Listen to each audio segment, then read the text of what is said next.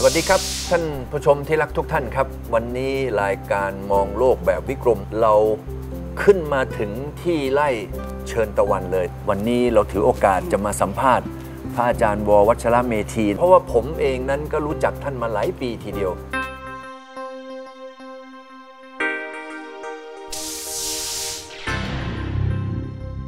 สวัสดีครับ เจริญพรขอเรียนถาม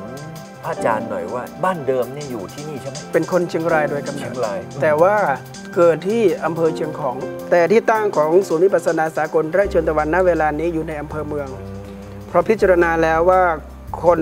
เข้ามาถึงง่าย แล้วนี่ที่มาตั้งวัดอยู่ที่นี่ก็เพราะว่าเป็นคนเชียงราย ก็ไปอยู่กรุงเทพสัก14 ปี อ๋อ วันหนึ่งก็คิดขึ้นมาว่ามันน่าจะพอแล้ว อยากจะคืนกำไรให้บ้านเกิดบ้าง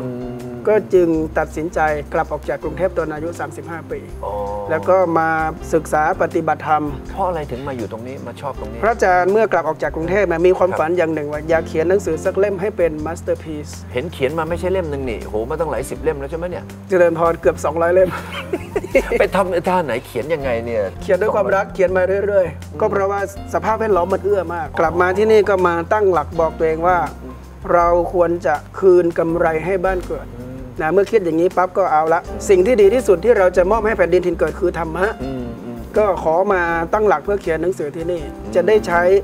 สมาธิกับงานที่ตั้งใจจะเขียนทำวิจัยไว้หลายปียังไม่ได้ลงมือเขียนผ่านมา 7 ปียังไม่ได้เขียน ฉะนั้นถ้ามาพูดถึงเหตุผลว่าเลือกที่ที่ตรงนี้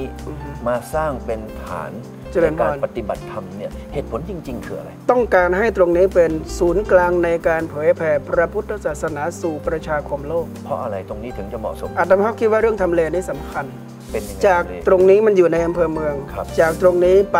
กลางใจเมืองแล้วเข้าไปที่เซ็นทรัลอืม 20 นาทีอ๋อไปสนามบิน 25 นาทีอืมอืมไปบขสก็ 30 นาทีอืมไปโรงพยาบาลศูนย์ของจังหวัดเชียงราย 30 นาทีโอ้เผื่อไว้หมดเลยนะ คุณจะไปไหนละจากตรงเนี้ยอยู่ตรงกลางพอดี ตรงกลางพอดี R3A ก็เริ่มที่ปากซอยเราโอ้เพราะฉะนั้นพระอาจารย์คิดว่าเรื่องทำเลสำคัญครัพบระพุทธองค์ตรัสไว้ในมงคลสูตรว่าครับ ปฏิรูปประเทศสวาโสจะเอตมังคลมุตตมัง แปลว่าการอยู่ในสภาพแวดล้อมที่เหมาะสม เป็นอุดมมงคลของชีวิตโอ้ถ้าแต่มาภาพไปอยู่ไกลๆชายขอบเลยนะ ไม่อยากไปหรอกเพราะไม่มีใครอยากไป หลายคนบอกพระอาจารย์มานั่งเครื่องบินมาจากจากสุวรรณภูมิมาถึงนี่50 นาทีโอ้ไปบ้านเกิดท่านวอสองชั่วโมงขอบายละไม่เอาเหนื่อยแต่พอมาอยู่ที่นี่เออถ้าลูกศิษย์มาถามว่าพระอาจารย์จะให้ไปพบที่ไหน พระอาจารย์บอกไร่ชนตะวันก็บอกโอเค ดีฮะไปได้เลยเพราะมันใกล้ครับเราก็คงจะเห็นนะครับว่าท่านอาจารย์วอนั้นมีเป้าหมายคือกลับถิ่นฐานบ้านเดิม แล้วในขณะเดียวกันนั้นก็มาหาที่ที่นี่ ซึ่งเป็นที่ที่เหมาะสมในการปฏิบัติธรรม เดี๋ยวเราคงจะไปคุยกันต่อในรายละเอียดสำหรับแฟนรายการนะครับที่ส่งชื่อและที่อยู่มาที่ Facebook วิกรมกรมบัณฑิตนะครับภาษาอังกฤษนั้นเราจะส่งหนังสือคาถาชีวิต2นะครับที่มีลายเซ็นพระอาจารย์วอและผม ขอบพระคุณทุกท่านครับที่ติดตามชมรายการของเรา สวัสดีครับ